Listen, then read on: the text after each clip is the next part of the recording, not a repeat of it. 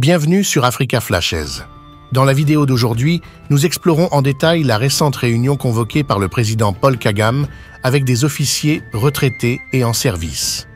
La tendance de Kagame à convoquer ses généraux en personne, en insistant sur le contact visuel, est une méthode pour assurer leur allégeance, même dans des affaires controversées. Il est important de noter que Kagame tente souvent de mettre en avant l'unité au sein des forces de défense rwandaises en impliquant des officiers retraités et ceux confinés à leur domicile comme le général Nyamvumba. Cependant, un examen plus approfondi révèle que beaucoup d'entre eux semblent mécontents et ne sourient pas, indiquant une atmosphère qui ne correspond peut-être pas à l'unité proclamée.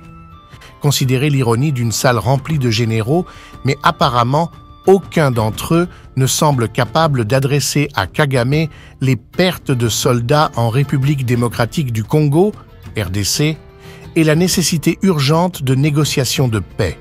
Un des sujets clés abordés lors de la réunion était la préparation à une éventuelle guerre sur le sol rwandais. Des rapports suggèrent que le président Tshisekedi, lors de son interview avec France 24, a affirmé que Goma ne tomberait pas. Cela constitue un message clair à Kagame selon lequel toute attaque sur Goma pourrait déclencher une réponse de représailles de la RDC. La question se pose, ces généraux sont-ils réellement prêts à défendre le Rwanda face à une menace potentielle aussi grave?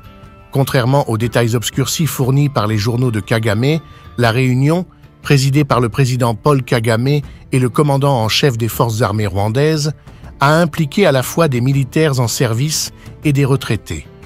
Étaient présents des personnalités militaires de haut rang et des responsables de diverses divisions, notamment la police, les enquêtes et la correction. Cette assemblée annuelle sert de plateforme pour l'adoption de diverses résolutions et la discussion de questions cruciales liées à la défense nationale.